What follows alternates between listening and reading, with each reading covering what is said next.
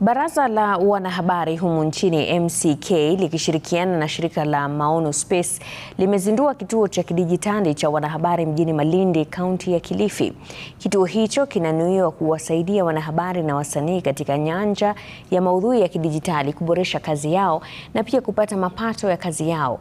Mkurugenzi mkuu wa MCK David Omoyo na mwenyekiti wa Maono Space Al Kags walitia saini mkataba wa utenda kazi wakisema kuwa kituo hicho pia kitatumika kutoa mafunzo ya nidhamu katika mitandao ya kijamii kwa wanahabari, wanablogi na wasanii.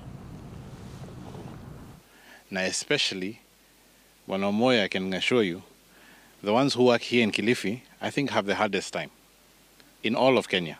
They need even more support because Kilifi by itself is so vast. I could drive for four hours and still be in Kilifi County.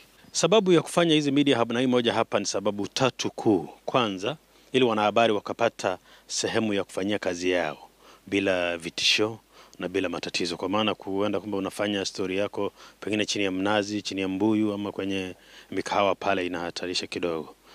Uh, sababu ya pili ni kwamba uh, ni uwezo wa ku, ku, ku, kutengeneza kipato Kama kutakuwa na shida yoyote ambayo inahusiana na mipangilio ya kifedha, nitahakikisha kwamba ile kamati inahusika mwanzo inakuja mwanzo, ili wawe na ushirika wa karibu, tuone kwamba kama kuna mapendekezo yoyote yatakuwa ni rahisi kukubalika. Hii ni ya nne ambayo tunaanzisha. Tumeanzisha Kisii, Busia, Kisumu, sasa hapa alafu Mombasa tumepata space, Nyeri, tutasonga kidogo kidogo.